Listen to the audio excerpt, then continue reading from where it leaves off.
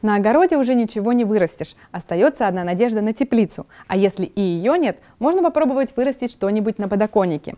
Например, руколу. Вырастим вместе с нашим специалистом.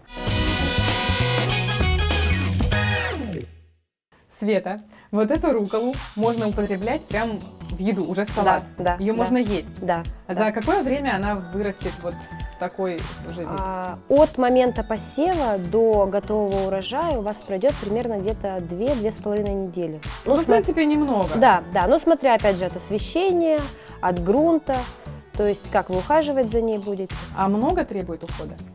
Нет, Кроме э, того, что посеять, полить, Рукола очень неприхотливая культура, поэтому ее можно выращивать как у себя на участке, так и на окне. Можно посеять просто в грунт. Просто в землю, Просто, горшочек да, сразу. да, да.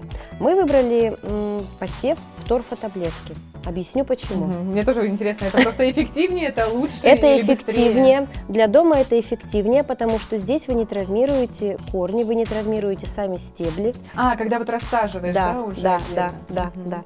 Давай сейчас вместе будем сеять. Мгм. А сколько нужно вообще вот в каждую вот эту торфотаблеточку насыпать? Это не принципиально. Мгм. То есть а, просто вот А если не там много их зайдет, то хорошо. вот она такая да, и будет, да, да, мы прям, Густая? да, да. Мгм. Все, прям вот сверху сыпешь. Прям в серединочку? Да, да, да. Так, ну по три, да? Досыпь все, что есть. Да, всё, что есть. Конечно. Если вдруг а, покажется, что очень-очень густо, ее можно проредить. То есть, в принципе, Разделить по- напополам таблетку потом? Или нет, прям э, выдернуть, выдернуть э, ненужные растения, как бы их уже можно использовать в пищу после того, как они дали семидольные листики. То есть проростки, да, вот эти какие-то? Да, да, да. Мгм. Рукола недорогая культура, поэтому, в принципе, приобрести еще несколько пакетов не составит труда. Но она обязательно взойдет? Обязательно. Или не факт? А, взойдет рукола обязательно, если будете выполнять условия. а, Посмотрите на пакете срок годности, чтобы он не вышел. А, Производители должны быть уже проверенные. То есть, если какой-то новый производитель на рынке, лучше не брать его, потому что, ну, может и зайти даже не то. Может, обманут. Может и обманут. Не рукола, а редька, да? Или что-то. Может быть. Или укропчик там какой-нибудь зайдет. Но укропа другие семена вы не А, спутаете. да, ну вот тут такие кругленькие, да, маленькие, все да, да. понятно. Когда мы посеяли в торфотаблетки, мы обязательно закрываем, ну, на- в данный момент крышечкой. То есть закрывать их там никак не нужно? Нет, все, Всё? все. Крышечкой мы закрываем. Это, то есть, идет специальный контейнер для торфотаблеток. Можно использовать любой другой контейнер, а, закрыть полиэтиленовым мешочком, как кому удобно. В мешочке нужно будет сделать отверстие. Чтобы воздух поступал, Да, да? здесь А просто- здесь и есть, получается. Здесь есть отверстие, раз в двое суток можно открывать, то есть проветривать. Мгм. А так э, мы закрываем, чтобы солнышко попадало, просто ставим на подоконник? Делаем тепличку, Мгм. чтобы там был парниковый эффект, чтобы таблеточки не пересыхали, а чтобы было достаточно тепла и влаги для всходов.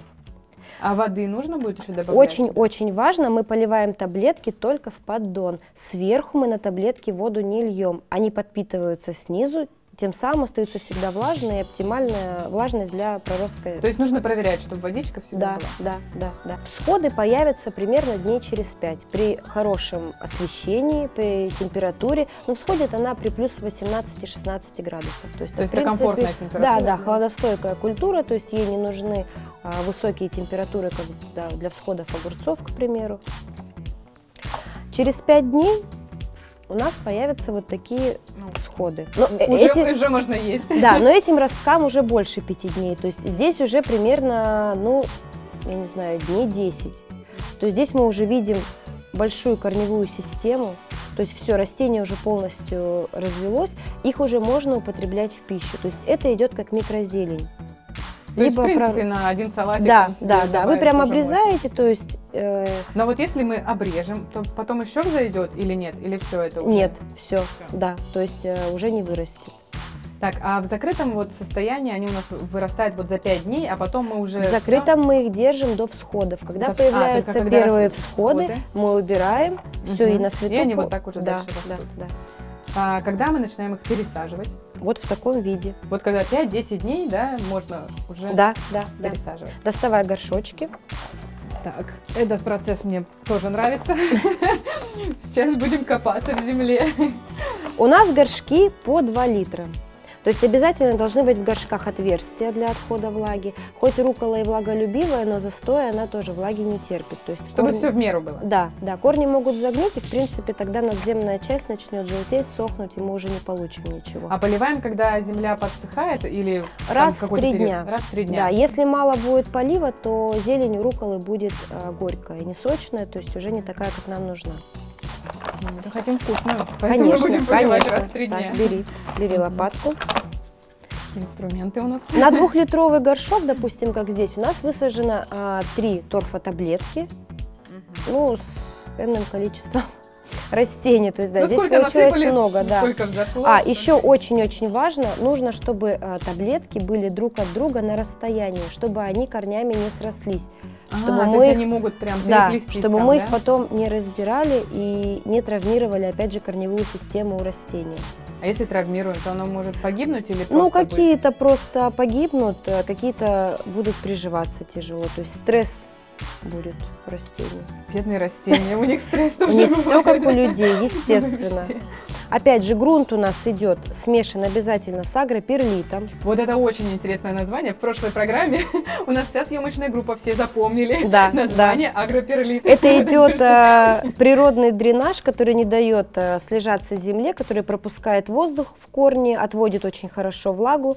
У него нет патогенной флоры, тем самым у нас будет здоровое растение без каких-то там... Ну, это вот это, да, свет? Да, да, это вот белые Ну, он гранулы. прям, да, помогает растениям. Конечно, Ну, конечно, Очень конечно. хорошо. Все, теперь берем и просто... И спокойненько туда утрамбовываю. Да, да. Не, ну нужно аккуратненько или прям нужно при... пос- Но так как они идут в торфотаблетки, в принципе, поломать их очень тяжело, потому что они защищены. Почему очень э, удобны торфотаблетки? Ну да, это намного проще, чем там выкапывать их, разделять. И, по... и тем самым ты по-любому, наверное, повредишь, да, Конечно, получишь? конечно. Если мы для улицы их используем, то можно прямым посевом в грунт, и тогда уже мы с рассадой не мучаемся. Дома нам Нужно сверху подсыпать, поглубже надо или только нет, вот нормально, да, вот так вот прям. мгм. В принципе, это несложно, даже интересно. Нет, нет, рукола очень несложная культура. И за счет того, что Самое интересное это в этом, что можно потом это все съесть. конечно. Что ты не просто так красивые цветочки там выращиваешь. Так как у нас уже в торфотаблетках имеется влага, то есть они изначально были уже влажные, мы поливаем а, по краю горшка, Ну, чтобы да, чтобы смочить землю, ту, которая была свежая. Лучше поливать какой водой? Вообще, конечно, лучше поливать отстойной водой, чтобы уже... То есть набираешь, да, так как да, пусть да, постоит, да. там сколько, день, два нужно, чтобы... Сколько Ну, в основном на- дня по три, по четыре, вот так вот, да. Как проверить, что у нас, допустим, ну, э, земля высохла и нужно полить? Поднимаем горшочек, если он тяжелый, значит влажная земля. Если очень легкий, нужно срочно поливать. Так вот, прям так срываю. И он домашний, чистый, поэтому можно и Да, мыть. да, да. Без Ну, удобрений. Он немножечко горчит, потому что вкус такой, да, вот вот у руколы. Вообще э, сорта очень разные. У нас более прямые листья, бывают резные листья, то есть сорт отличается, вкус тоже отличается. Остается горчично-ореховая нотка, но где-то посильнее, где-то слабее идет. Можно сделать, наверное, какой-то салат интересный. Вот у нас в рубрике сегодня будет э, салат с руколой специально, чтобы она не горчила. Всем здравствуйте! В эфире рубрика «Кулинарная копилка» и я, Софья Корнишна. Сегодня мы будем готовить очень вкусный, полезный, яркий салат из руколы, кальмаров, томатов и очень интересной заправки. Для этого нам понадобится свежая, полезная, яркая рукола, очищенные тушки кальмар, томаты черри, семена тыквы. И для заправки нам потребуется мед, лимонный сок, оливковое масло, немного специй, соли. Собственно говоря, и готово. Первым делом мы нарежем томаты черри. На самом деле нет необходимости нам отрезать у них плодоножку, поэтому можем просто их поделить пополам и нарезать вот таким вот образом крупно.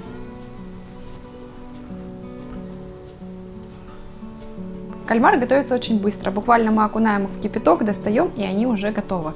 Но в данном рецепте для салата мы еще их немножечко подрумяним на сковороде. Для этого мы сейчас а, уже сваренные кальмары обмакнем бумажным полотенцем, чтобы у нас не было лишней жидкости на сковороде. И на разогретую сковороду распылим немножечко масла. И в разогретое масло отправим кальмары обжариваться с двух сторон буквально также по 30-40 секунд. Отправляем на разогретую сковороду кальмары и подрумяниваем их буквально по одной минутке с двух сторон. Если мы будем готовить кальмар очень долго, то они получатся очень жесткими и невкусными резинами. Поэтому как можно быстрее мы должны довести их до результата.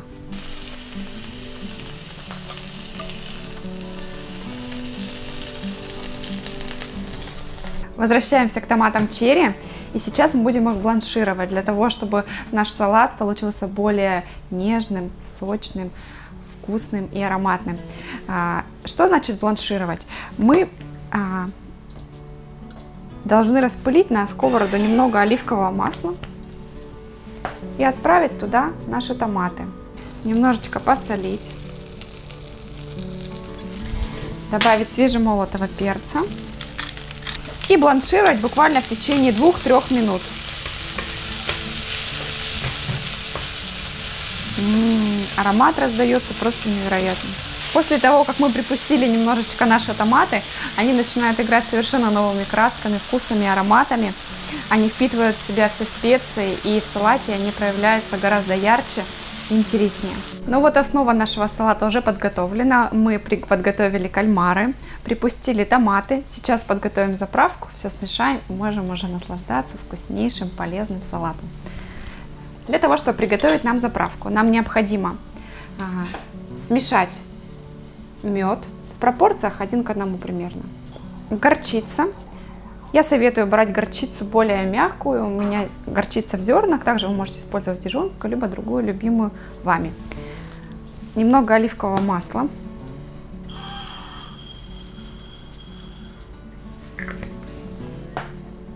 Соль. И сок лимона. А, а теперь, а, зачем же мне нужна была баночка? В баночке наша заправка станет более однородной вкусной и правильной консистенции. Мы добавили туда все ингредиенты, сейчас вот таким вот просто движением мы должны все размешать. Повторюсь, секрет правильно приготовленных кальмаров – меньшее количество времени его приготовления. Буквально 20 секунд в кипятке и кальмар готов. Если вы хотите его доготовить, то буквально минутка на огне, на сковороде и уже можно убирать с огня. Далее мы берем основной ингредиент нашего салата, это руккола. И ее первоначально мы должны немножечко заправить оливковым маслом. Потому что основную заправку мы будем выливать уже сверху всех ингредиентов. У нас практически все готово. Рукколу мы заправили немного оливковым маслом. Сверху мы выкладываем подготовленные наши, сначала отваренные, потом а, немножечко подрумяненные на гриль-сковороде кальмары, тушки кальмаров. И далее мы выкладываем припущенные томаты с ароматными специями, травами, солью, которые придадут изюминку этому салату. Посмотрите, как они красиво смотрятся, как оригинально, а на вкус они просто невероятные. Завершающим этапом мы добавляем нашу заправку подготовленную. Повторюсь, здесь у нас мед, лимон, горчица, оливковое масло, немножечко соли. Это все перемешано. Выливаем нашу заправку. И сверху я предлагаю дополнить наш салат тыквенными семечками. В такого рода нежных салатах, где присутствуют ингредиенты а, очень мягкие, податливые, необходимо добавлять такие ингредиенты, которые придадут текстуры. Вот как раз таки а, семечки, орешки, какие-то сухарики, они всегда очень ярко дополняют такого рода салаты. Но не говоря о том, что, конечно, тыквенные семечки очень полезные. Ну что, наш салат из рукколы, кальмаров, припущенных томатов, тыквенных семечек и оригинальной заправки готов. Я желаю вам не бояться экспериментировать на кухне. Всего вам самого доброго. Пока-пока.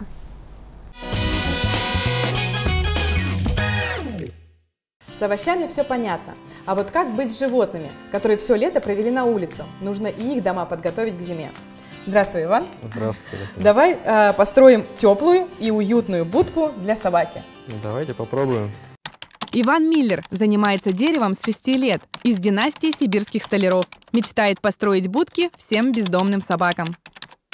С чего мы начинаем? То есть сначала рисуется, да, план? Ну, рисуется вот как для собак.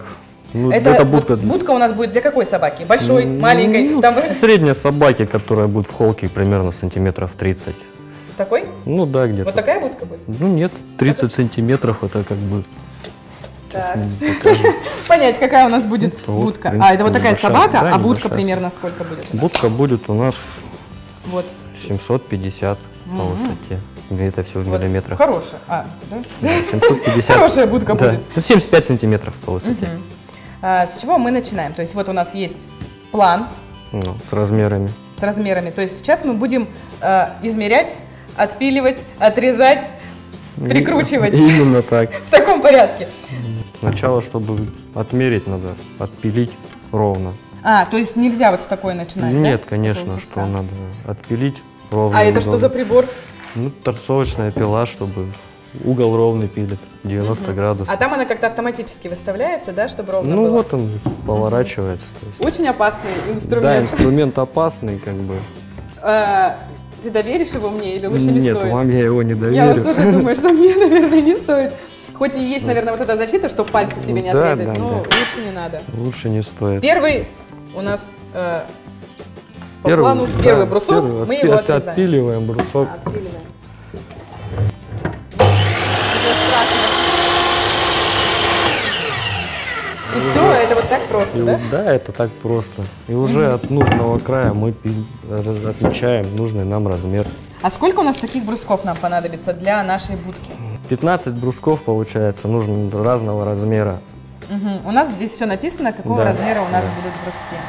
Так, То есть А. начинаем с передней части будки, то есть она у нас получается 670 миллиметров. мгм. Вот, пилим Отмеряем. отмеряем брусок, то есть от начала. сколько там раз нужно отмерить и отрезать?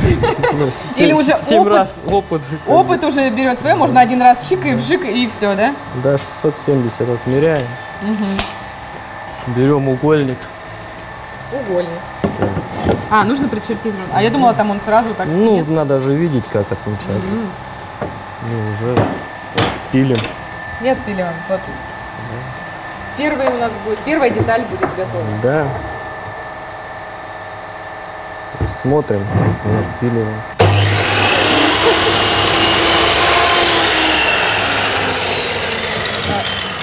К концу, наверное, когда мы уже будем за- заканчивать будку, может, я перестану пугаться. Ну, быть и Ну, так. сейчас этот шум. А мы вот эти инструменты тоже будем Да, использовать? какие-то будем.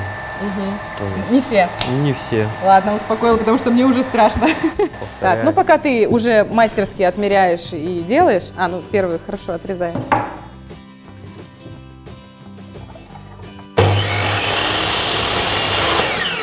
Две детали у нас уже готовы. Это получается что? Это передняя Это- часть будки, да. Передняя часть. Да. Теперь нам нужно сделать боковые. Боковые. Они длиннее, короче, Да, Они будут короче. Покороче Они еще. будут на 450. За, за какое время мы можем сделать эту будку? То есть вот сколько у нас это времени займет? Ну, В среднем? в среднем часа 2-3. Часа два-три. Ну, в принципе, так-то недолго. Но Это если все Ну, подготовлено, если все да? подготовлено, да, конечно. Иван, столько много брусков мы напилили. Ну, ты, не я. Но э, как-то это будет собираться? Да, из этого Это пазл сейчас- такой у нас. Да, будем собирать переднюю стенку будки. То Что, есть- что где? Я пока не понимаю. Мне кажется, они просто бруски и бруски. Ну да, какие-то там Ну, по так. диагонали У отпилены. нас низ, Ага. Это у нас боковые бруски. А вот эти одинаковые, да? Ну, не все, все одинаковые. Это вот так. Оп, оп. И пазл складывается в будку. Магия. Не, ну это классно, когда ты вот что-то делаешь, выпиливаешь, вырезаешь, а потом только видишь результат. Вот Я, я пока еще не представляю, какая у нас будет будка, и что там реально мы поселим собаку. Собака нам скажет спасибо. Также у нас будет крыша. Крыша. А я сейчас, я думаю, сверху, ну сверху. и- ну вот. А теперь понятно, что значит. Это вот.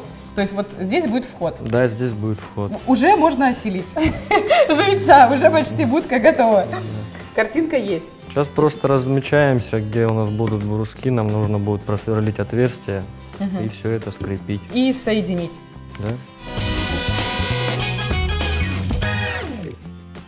Ты учился где-то вот такому делу? Это сложно вообще вот взять и научиться? Ну, если у человека руки растут откуда надо, то не сложно. Это просто нужно любить. Да, ну, любить С детства что-то мастерил? Да, с детства.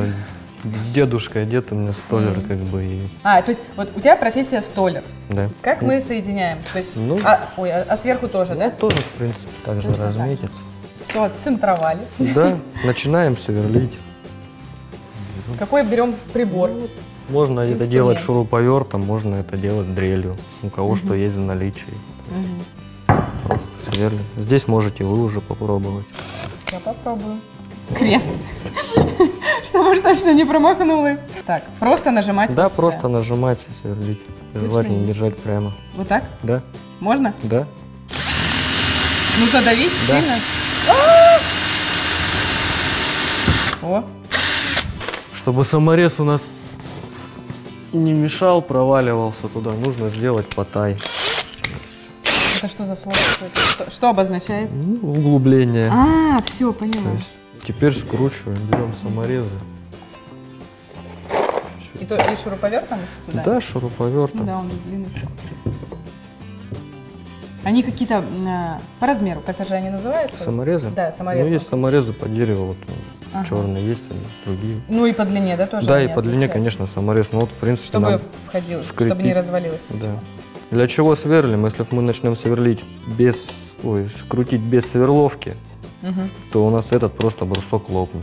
А, И- а так он ровненько войдет, а там уже Да. вкрутится И он не расщепит, саму да, деревяшку. и хорошо притянет. Мгм. То есть сейчас мы эти не собираем, да? Нет, Дальше почему мы это все А, собираем? полностью да, собираем. весь Мгм. каркас пилим, собираем. По старой схеме. Да, Хорошо. все по старой схеме. Теперь это похоже на будку. Ну да. На настоящую будку для вполне такой хорошей собачки. Пол, как вот в настоящем доме. Ну, естественно, потому что это используется готовая уже половая доска А, это прям вот специально. Да, вот она доска, идет уже Для обычного дома, да? с шипом и с пазом, то есть собирается она. у нас. И Хоп-хоп. уже никаких И щелей, ничего, ничего поддувать не будет снизу собаки. А какие-то есть, э, там, не знаю, э, пожелания клиентов э, что-нибудь сделать домик для своего питомца необычным? Да, был у нас необычный заказ. Человек заказывал будку с теплым полом, то есть То- прям чтобы, чтобы пол было подогревался. подогрев пола. Да. Обалдеть. Также Наверное, это там просто счастливая собака. Я бы сама там хотела жить. Также Домик с подогревом. Обалдеть. и утепляются и стенки, то есть Тоже обшиваются, да, прям да, Изнутри, Да, чтоб внутри, то есть тепло. вкладывается утеплитель. Ну, а собака, интересно, ну, не жарко там? Ну, Обычно уличные собаки, они же там у них подшерсток там, Ну, если это- что выбежит, да. Есть же разные породы собак, у которых есть гладкошерстные, которые они И зимой на улице. Ну, возможно, да, кстати. вот, как бы, как бы А так. так э, домики какие-то там, не знаю, особенно, чтобы они были там, э, ну не знаю, что еще такое бывает, там с террасы я видела, у вас какие-то домики есть, да, вы да делаете? там насколько То есть на- фантазии хватает людям. Да, на вкус, да, заказчика вообще не предугадать, да? Но выполняете любой сложности работы. Любой. Ну, у нас тоже как бы домик-то Да, достаточно шикарный, я бы сказала, да. Что делаем дальше? Ну, практически в принципе, пол мы уже собрали. Мгм. Можно приступать. Нам стенки нужно, стенки, да? да. А, их прям вот э, будем прикреплять. Да, конечно. Используем имитацию бруса, вот у нас есть. То же самое, в принципе, как и пол. Он также стыкуется. А, тоже Также соединяется. шип пас у него есть.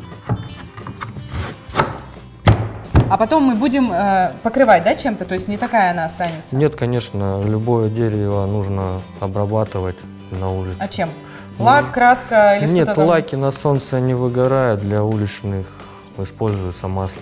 Маслом Да. покрываем. Оно пропитывает дерево и Да, защищает. защищает. И в дождь, и в снег, и в град, и в ураган. Домик наш будет внутри теплым и хорошим. Именно так. Ну, будем надеяться. Так, что Начинаем делаем? Как? зашивать. Ну, в принципе, у нас есть... Это сложно?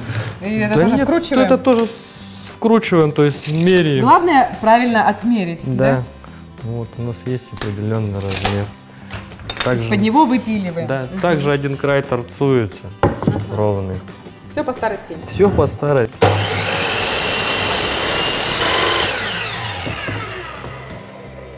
Также нужно размерно. Отмечаем 870.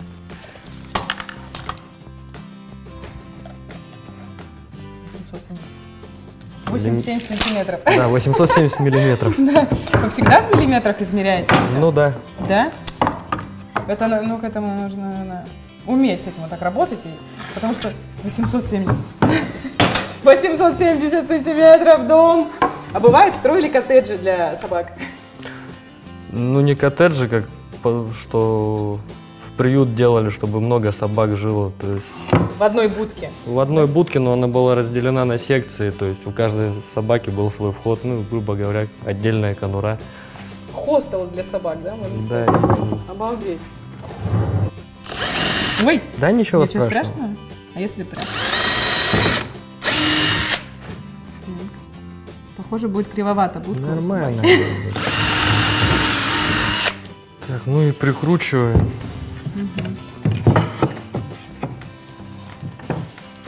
Могу подержать. Тут мне будет э, удобно, саморезы комфортно. уже идут Поменьше. ме- меньше, да, чтобы не вылазили. А то можно насквозь, да, сделать? Да. Да.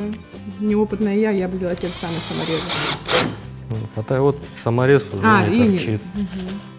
И вот таким способом нам нужно обшить справа, слева, сзади и, и спереди, вот только Да, местами, и да? спереди полностью все зашиваем. А, то и зашиваем. крышу. А здесь чем будем? То же, То же самое. самое? Да, то же самое все зашивается. Так, как теперь эта стыковка происходит? Ну, то же самое пилим размер. А, отлично. Оп, все, Да. круто. Ну, Вот, в принципе, хорошая, Стеночка непродуваемая стенка получается. А чем внутри можно утеплять? Ну, минеральная вата или базальтовой плитой.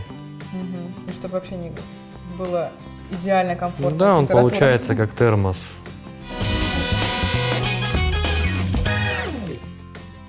Будка готова? Ну, практически осталось сделать кровлю.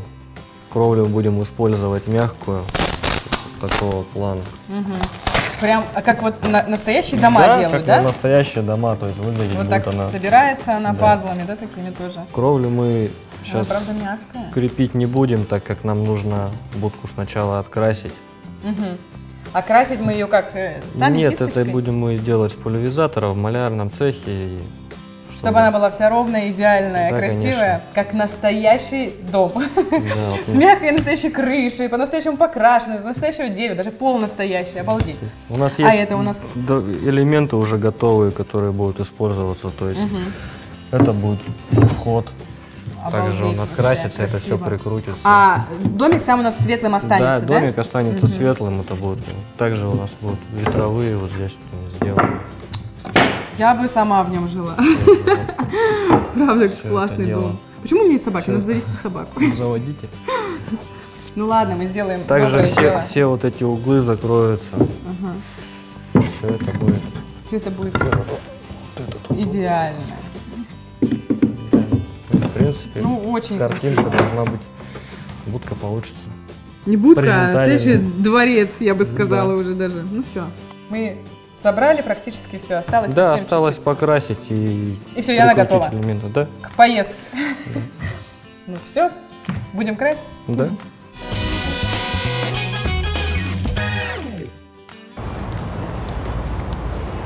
Ну что, наша будка готова? Да, все готово. Можно уже ее забирать? Да. Она отличается от других совершенно. Она вообще оригинальная и индивидуальная. Чтобы еще сделать ее узнаваемой, нашей, я предлагаю сделать логотипы на ней. То есть Хорошо, давайте наш сделаем. логотип и ваш. И поехали.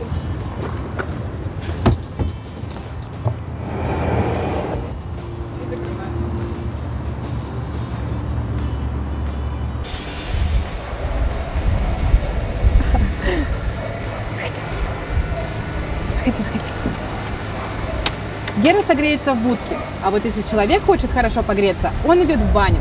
Как правильно подготовиться к бане, а что в бане делать категорически нельзя, нам расскажет мастер русского пара.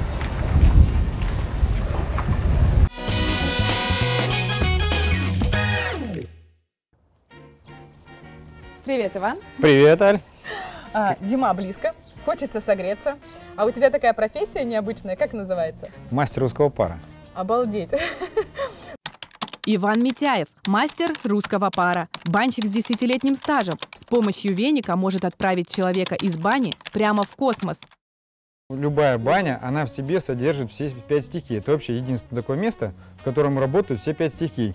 Огонь у нас горит, воздух у нас там есть, вода у нас мы поддаем на камни. Камни, они олицетворяют землю.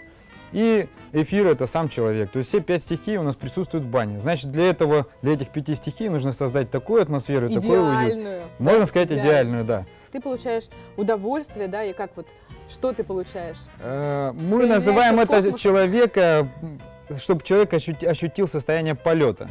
То есть это наш полог – это космодром, через который мы запускаем в космос людей. Обалдеть. А вот э, когда зима наступает, то есть нужно как-то подготовить баню к зиме, то есть ее нужно что-то, не знаю, как-то обработать тоже, я не знаю, или что-то там сделать. Есть, есть, есть такие нюансы у нас небольшие. Э, В плане того, что вопрос, самый главный вопрос – это как баню используют. Используют баню в Каждые частном выходные? доме, Да. в частном доме, либо баню используют, э, вот дачная баня, например, А, да? то есть только летом, если использовать. Да, вот человек, допустим, возьмем человека, у которого есть дача, он все лето парился в бане, на зиму он туда даже проехать не может, только на лыжах идти, потому что там все заметает и все это. Вот для таких людей нужно научиться консервировать правильно баню. Во-первых, удалить всю воду оттуда, то есть убрать, чтобы воды никакой не было, чтобы она не раздавила, ничего не это.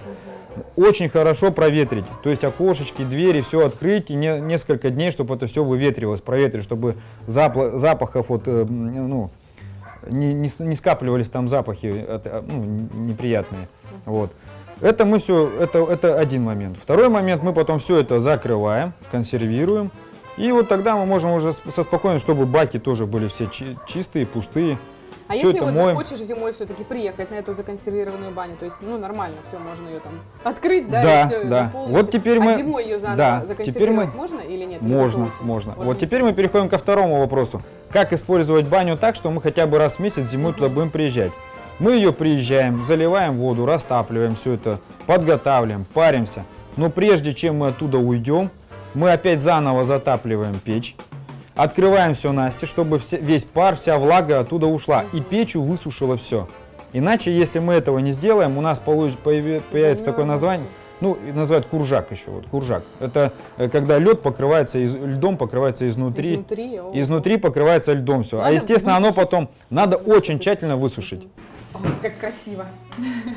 Да, это вот у нас э, вот вот таким образом мы встречаем гостей, то есть Это рам- обязательная процедура, подготовка. Конечно, да? конечно. Это э, встреча гостей с чаем, э, с ягодками, с медом, чтобы было очень вкусно и приятно. Это просто для вкуса или это полезно, как вот перед баней? прям? Да, вот сейчас я вам расскажу, что, что человек должен сделать, когда он, собрался, когда он уже собрался идти в баню. То есть, То есть не просто времяпрепровождение, а именно вот духовно отдохнуть, да? То есть ну, даже, да, даже вот- если так, вот в любом случае, чтобы не было нагрузки на организм. Мы за 2-2,5 часа до бани мы сильно много не едим. Но если уж совсем голодно, можно съесть там небольшой салатик или пару бутербродиков То каких-то. есть не наедаться. Не наедаться. Ну, потому что, опять же, мы, у нас процесс физиологичный произойдет. Мы поели, еда у нас в желудке, она начинает перевариваться, у нас там туда прилив большой крови идет, а нам нужна кровь на периферию. И организм, просто мозг не будет понимать, что делать. То ли нужно кровь э, сохранять внутри, для того, чтобы переварить пищу, либо на периферию для того, чтобы защищаться от тепла. Да. И поэтому всё организм... просто В, в в да, в этот момент человек перейдет в состояние стресса. А мы входим в баню для того, чтобы получить релакс. Вот сейчас уже подготовилась баня, Разогрелась. разогрелась, да, и мы уже готовы вас принять. Сейчас Денис, вам, это мастер русского пара, он сейчас вам все расскажет и покажет. Так что я думаю, можно идти уже в баню. Хорошо, я пошла переодеваться. Конечно.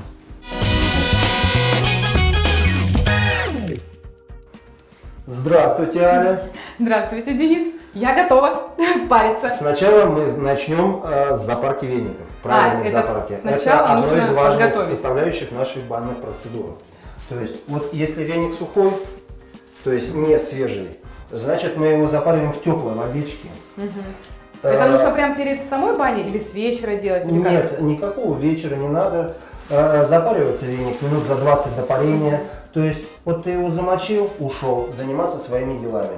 То есть протапливаешь печечку, э, подкидываешь там дрова, набираешь купель, э, готовишь парную, масло, ароматы все. Это первое дело, что надо Это сделать. первый, да, это замачиваешь перед всеми этими действиями. В нем очень много дубильных веществ, которые вашу кожу подтягивают. У березы немножко другой эффект. Она размягчает, она открывает поры хорошо. То есть почему первый раз э, всегда проходит березовым веником? Потому что открываются поры, и ты раскрываешь, чтобы кожа дышала. То есть первый этап желательно пройти с березовым Конечно, конечно. А потом уже дубильным или любым другим? Нет, можно дубом, потому что дуб закрепляет. Всегда дуб происходит парение дубом а, на завершающих. Как кисть должна двигаться, какой, с какой силой удары должны быть. Это тоже прям так интересно. Это снова, это снова должно, должен подход быть э, индивидуальный. То есть вот каждый человек, он по-своему, кого-то посильнее Давай можно попробуем. ударить, кого-то посильнее. Давайте. Э, Я вам покажу просто движения, которые э, всегда надо делать, находясь в бане. То есть круговые у меня двигаются всегда То есть кисть должна кисть. двигаться. Да, она в основном. Двумя надо- вениками парить Конечно. сразу, да? Конечно. А как ты одним? А вот я вы думаю- попробуйте вот одним попарить. То есть, да? а, ну уже, уже, и да, двумя. нету. Снова ножку вы берете, вот ножку. Ага, можно ножку. Вот, да, вот так, вот сюда ее так. Вот, я делаю как? Вот же я работаю, правильно? Мгм. Ух ты! То есть, То есть оно- это не просто так конечно, похлопать. оно должно вот раз, раз. А Ой, это так приятно. А с одной, вы понимаете, вы не уберете сразу две стороны. Нет, правда, с двух А веников тут это получается прям, полностью конечно, как будто... вы- движения должны быть мягкие, плавные, то есть все должно происходить мягко. Мы запускаем людей в космос. Мне Они кажется, видят Вселенную, не, не покидая этих полков. мозг улетает. Вот честное Улетает. слово, от таких ощущений мозг улетает.